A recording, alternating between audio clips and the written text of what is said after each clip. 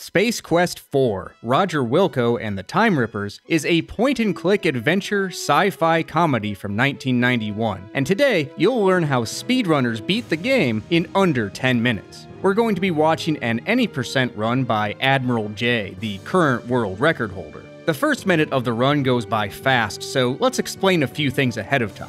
First, runners use the floppy disk version because it has a major skip that's not possible in the CD version, and because the CD version has a number of issues, which we'll talk about shortly. Second, the game is being run in a special version of ScummVM that is closer to a native DOS environment. This has the effect of running faster, or maybe it's more accurate to say that it doesn't slow the game down like the official ScummVM. This version also eliminates some inconsistencies that can happen across different machines, creating an even playing field for runners. Third, uh, the story. Yeah, this game has one of those. So, our character, Roger Wilco, is bragging about his past adventures at a bar when he's abducted by the sequel police. They have orders to kill Roger from the series villain, Sludge Vohaul. Some mysterious men intervene, and one of them opens up a time rift. The rift sends Roger into the future, all the way to Space Quest 12. In this future, a supercomputer has taken over Roger's home planet and done a bit of apocalyptic redecorating. Uh, and that's where the game begins.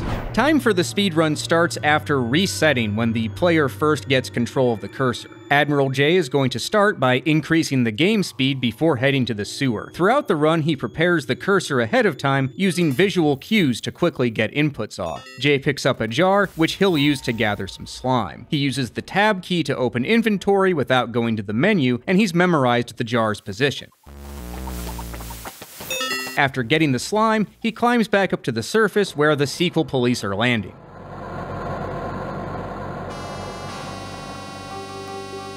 There are some other things we could have picked up, namely a Pocket Pal computer and a battery, but you don't actually need those. More on that later.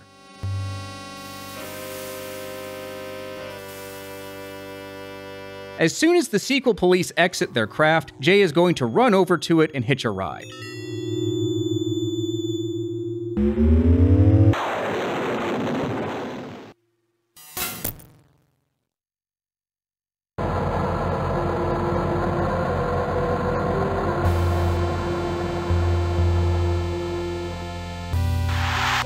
In the floppy version that we're playing, the game waits for the music to end before putting down the craft's landing gear. That makes this cutscene longer than the CD version by about 20 seconds. But the big skip I mentioned earlier, as well as some other differences, make up for the longer wait. For instance, if you use this version of ScummVM with the CD version of the game, then the event timers are ridiculously fast and you just die. So the only way to run the CD version is in a much slower environment where all the animations take longer to complete.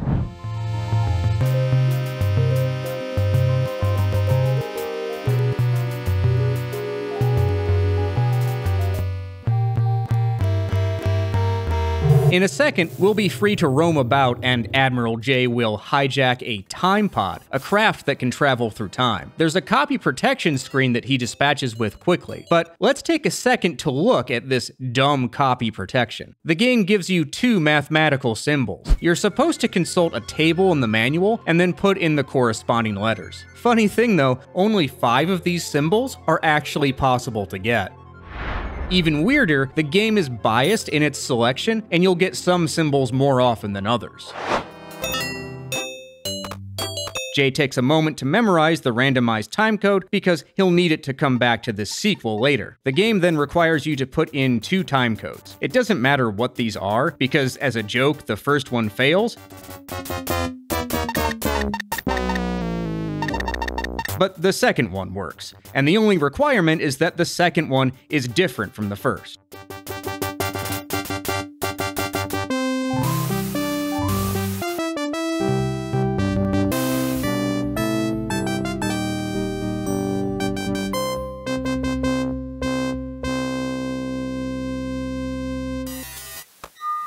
Now that we're in Space Quest 10, Jay walks one screen to the left, which is the trigger for a pterodactyl to appear in just a second and take us to its nest.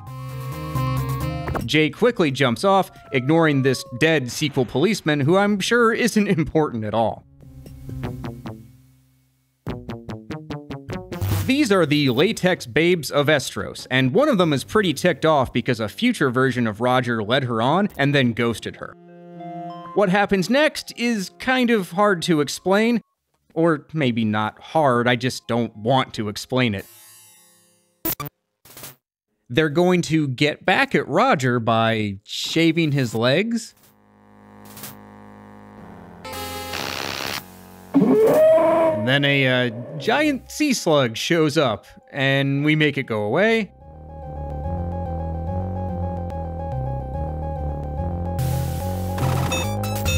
And then the women want to celebrate by going shopping. Oh, and in a blink and you miss it cutscene, the dude who saved us at the beginning turns out to be our son, and he's been captured by Vohaul. Anyway, I wasn't kidding about the mall. Jay picks up an ATM card that one of the babes dropped and tries to use it at an ATM. Except it doesn't work because the ATM has a visual scanner and we don't look anything like the card's owner. So, okay, follow along here. Withdrawing all the cash from her account is one of the game progression triggers. So, we need to look like a blonde woman, which means buying a dress and a wig. But we can't afford that, so we need to get a job at Monolith Burger. But the burger place has a very strict no shirt, no shoes, no service policy, so first we head to the big and tall shop and buy some pants and shoes. As an aside, in the CD version, buying pants is the only one of these steps that's strictly required. Alright, back over to Monolith Burger. There's a burger making mini game you can play, but in a rare moment of Sierra lenience, you can skip it. The owner pays us, fires us, tosses us out, and throws his cigar on the beltway. Remember that for later. Now that we have the money, we can head to Saks, the women's clothing store, and pay for the dress and wig.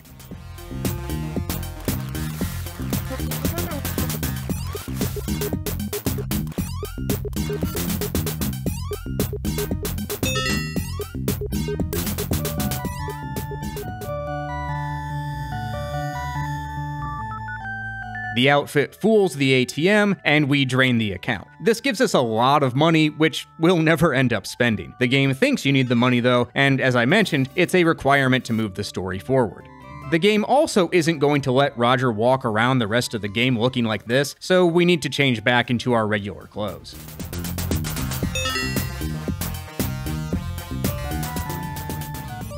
Alright, now that we're back to normal, it's time for what is universally considered the most annoying part of the game.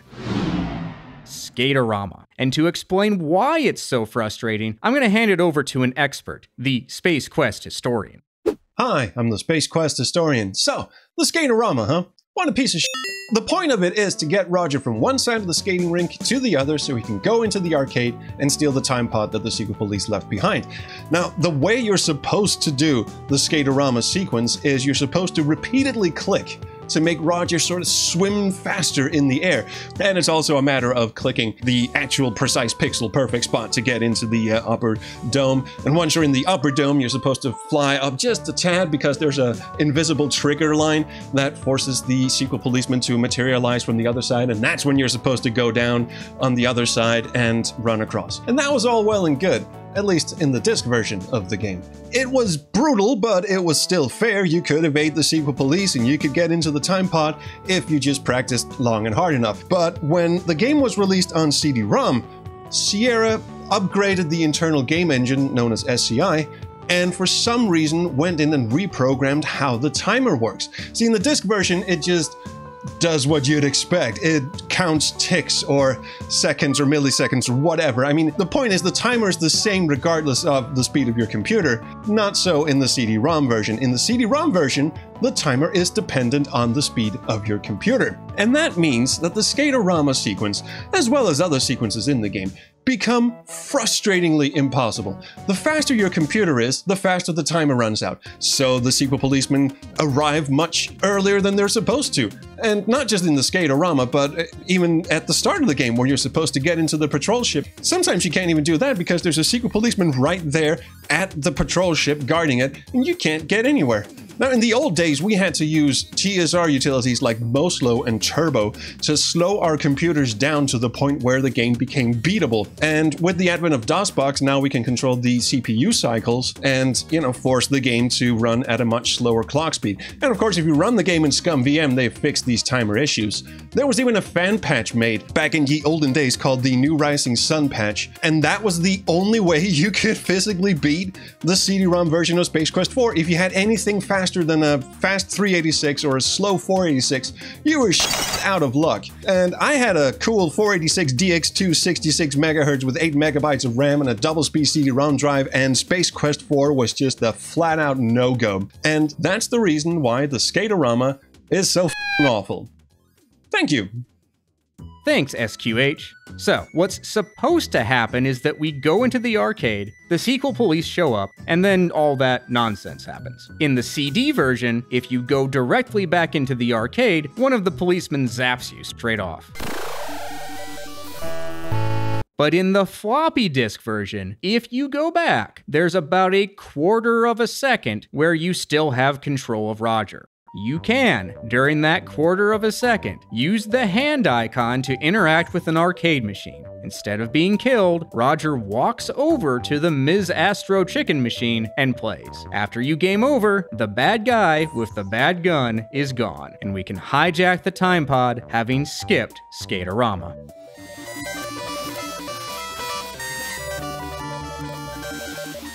The skip does introduce some RNG because there are slow and quick ways to die in the arcade game. In this run, Jay gets the slow deaths. The world record, on the other hand, has the quick deaths.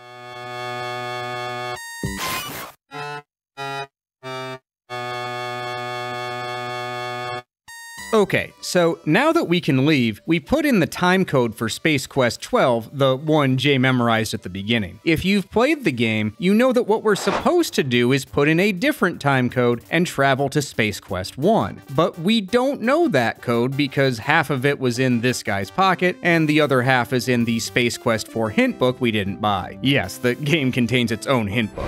Fortunately, we don't need to go to Space Quest 1, and you'll learn why in a second. Back in the hangar, Jay uses the jar of slime from the sewer to melt a lock. If you're wondering why we didn't do this earlier, it's because the door is guarded at the beginning of the game. Inside this hallway, there's a series of deadly invisible lasers. Now, the only reason to go to Space Quest 1 is to pick up a book of matches. When you combine that with the cigar, which we also didn't pick up, there's enough smoke to see the lasers, and we can use this panel to align them safely. On the other hand, we could just put in the right numbers to begin with. In the CD version, this isn't possible because of another one of those timing bugs. The faster your computer is, the less the beams rotate relative to the number entered. So here I am putting in the same number every time, and sometimes it works, but sometimes it doesn't. You also might have noticed that Jay saves some time by not using the mouse to input the numbers. Instead, he uses the numpad, a possibility that not all players may know about. Now, where are we? This is the evil supercomputer that's taken over the planet, and these twisty walkways lead to where Sludge Vohaul is holding our son captive. Unfortunately, there are two patrolling droids, and they don't particularly like us. Walkthroughs will tell you the solution is deep breath, Look at one of the control boxes to see the shape of the receptacle, which is randomized. Take the time pod back to the Galleria, go to the electronics store, buy the matching connector, come all the way back, and then plug in the Pocket Pal computer from the very beginning of the game. From this, you can monitor the locations of the droids and avoid them. Or, you could walk over to this screen, wait a second down here, and then walk back up. Jay's now making his way to the programming chamber. There's a lock on the door, and you're supposed to know the code from reading the Space Quest 4 hint book, but the number's the same every time. Now, there's something else fascinating about the code. After Jay recorded this run, I was chatting with Sluicebox, one of the ScummVM developers. Sluicebox then discovered that instead of this, you can just put in 26229. Why? Well, the game takes the player's input and tries to store it as a number, specifically a 16 bit unsigned integer. When a number is too big to fit inside this range, the result wraps around the maximum. This is called an integer overflow. You can also think of it as dividing by the number of possible values and taking the remainder. This is exactly what happens with our passcode. So, the game takes what you put in the keypad, tries to turn it into an integer, and opens the door if that value equals 26,229. Therefore,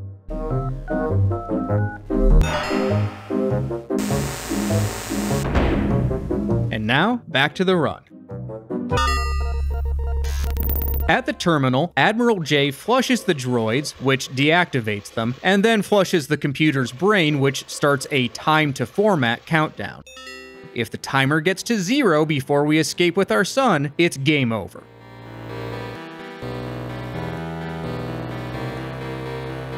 Unfortunately, Sludge Vohaul has downloaded his consciousness into our son's body and put our son's mind on a disk. So, Roger needs to wrestle with his son Vohaul, Sludge son, and get him caught in an upload download beam. If you watch Let's Plays, you'll see people wait until Vohaul starts walking towards Roger before doing anything, but waiting actually isn't necessary, and you just have to click five times.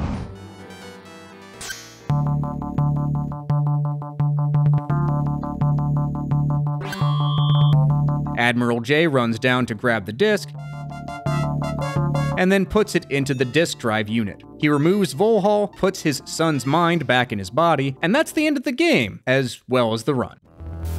The end credits sequence kind of explains things, but it also doesn't explain much at all, so I'm going to thank my patrons for their amazing support. I'd also like to thank Admiral J and the other runners who answered my questions, as well as the Space Quest historian for his help. Thank you for watching, and as usual, you've been a real pantload.